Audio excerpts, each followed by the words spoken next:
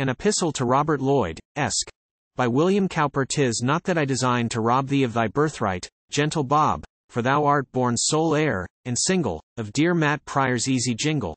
Not that I mean, while thus I knit my threadbare sentiments together, to show my genius or my wit, when God and you know I have neither, or such as might be.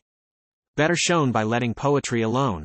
Tis not with either of these views that I presume to address the muse, but to divert a fierce banditti, sworn foes to everything that's witty. That, with a black, infernal train, make cruel inroads in my brain, and daily threaten to drive thence my little garrison of sense, the fierce banditti. Which I mean are gloomy thoughts led on by spleen. Then there's another reason yet, which is, that I may fairly quit the debt, which justly became due the moment when I heard from you, and you might grumble, crony mine, if paid in any other coin. Since twenty sheets of lead, God knows, I would say twenty sheets of prose can ne'er be deemed worth half so much as one of gold, and yours was such. Thus, the preliminaries settled, I fairly find myself pitch-kettled, 1. And cannot see, though few see better, how I shall hammer out a letter. First, for a thought, since all agree, a thought, I have it, let me see, tis gone again, plague on't.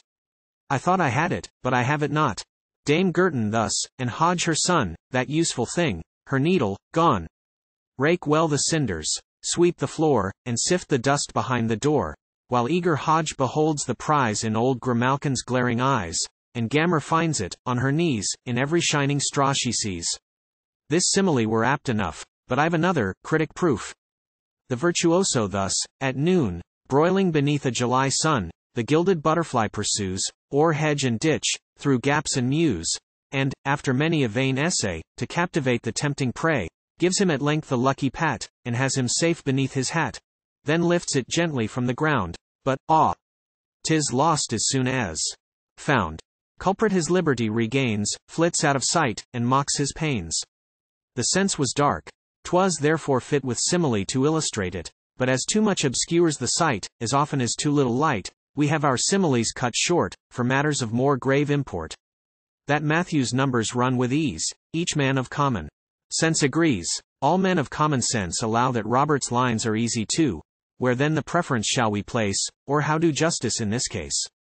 Matthew, says fame, with endless pains smoothed and refined the meanest strains, nor suffered one ill-chosen rhyme to escape him at the idlest time, and thus o'er all a lustre cast, that, while the language lives shall last.